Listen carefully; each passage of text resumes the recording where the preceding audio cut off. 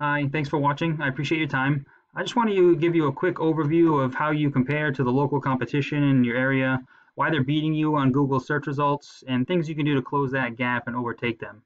So I've got your website pulled up here, and what I like is it's really clear and concise, easy to get to these drop-down menus. This deal you got going on really hooks people into wanting to continue to look down the website for content. Uh, when Google is looking at your website to rank it on the list, it uses two factors. One being the content. So the layout of the pictures and the text doesn't really matter. It's just a computer, so it's going to start counting everything. Uh, text is pretty important because Google wants to see about 1,000 to 1,500 words on your page. Right now, you've got somewhere in the neighborhood just over 600. Um, now, obviously, you know more is better, but really, as it's counting the words, it's searching for keywords, which is anything that people frequently type into search, which is usually either uh, the service that you're doing or a location. Now, this is where the number of words on the page really comes in handy because Google only allows one keyword for every 100 to 150 words on the page. Anything more than that is what we call keyword stuffing. So for instance, if you were just have a page that did nothing but list services and then list areas, Google wouldn't rank that very high. Now the second thing that Google is looking for is the authority or the popularity of the page, which is basically just other websites that refer back to your site. Uh, for instance, if you had a customer that you did a job for and they were talked to one of their friends and said, you know, you did a really good job on their house, that friend would have a pretty high opinion of you. But then if 10 other people told that same person that you did a really good job, then you'd be really authoritative in that person's eyes, which is the same way that Google works. Uh, to show you how this works, I, I, just pulled up a search here. It says roofing in Worcester, Mass. And the first thing that's going to come up is what's called the map pack. Now, a lot of people think that this is solely based on the proximity of where I'm searching from, but it actually has a lot more to do with your authority of your website. So for instance, if I were to, to make a business website at my home address and then go on the street to my neighbor and search for that business, it wouldn't show up in this list just because of its proximity, because I have no authority with Google. Uh, the other the other reason, the only way that you'll get in this map pack is if you as a business owner fill out your Google My Business profile, which is totally free. I believe now it's actually located right inside the Google Map app. And you can do it right from your smartphone. So then below the map pack is what's called the organic search results. And this is where the higher the authority of your website, the higher you rank on the list. So what I did is I just grabbed the three top results. Uh, you can ignore any of the listing sites like Angie and Yelp. And I put them in this program that I use, which basically just shows you know, the both ranking factors on what Google uses to determine how popular and how authoritative your site is. The first being the keywords. These are all the keywords, or the number of keywords that are being found on your page.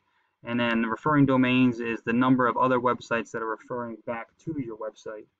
So if we just do a quick view of the numbers on paper, if you go to your competition, you're beating all the competition in all the numbers as far as number of keywords and number of referring domains. But this is where your website is a really good example of how quality is a lot more important than quantity.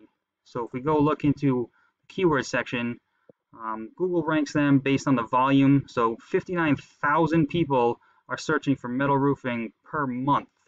So that's a pretty popular keyword. But as you can see, you're only ranked 15th, whereas you're number one in East Coast Metal Roofing, obviously because it's it's your business name. Uh, but as we get more popular search results, you want to be higher up with the more popular ones so more people are finding you. Now, also, we go back to look at the referring part This is another good example of quality over quantity. You've got more total referring domains back to your website, but if you look at the the ranking of how authoritative these websites are, you've got a lot of low ranking or zero ranking sites that come back to you.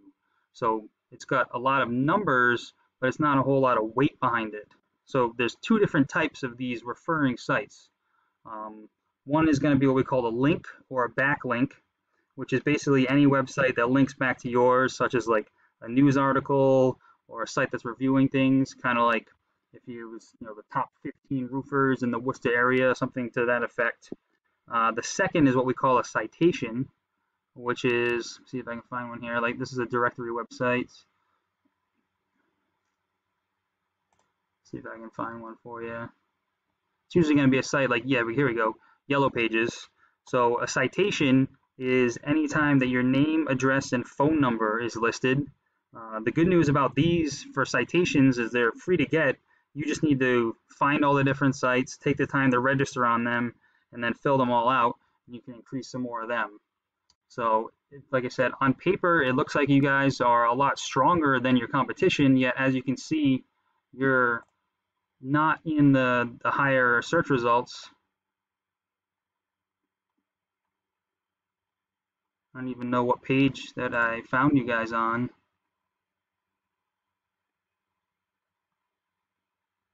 So as you can see that even though you have higher numbers, you're not ranking up there in the search results, so people aren't going to find you because nobody's going to start searching through five and six pages of Google.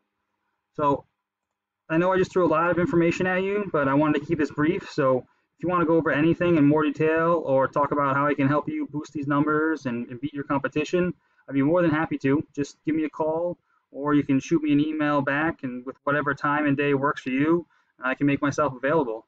Again, I thank you and I appreciate your opportunity.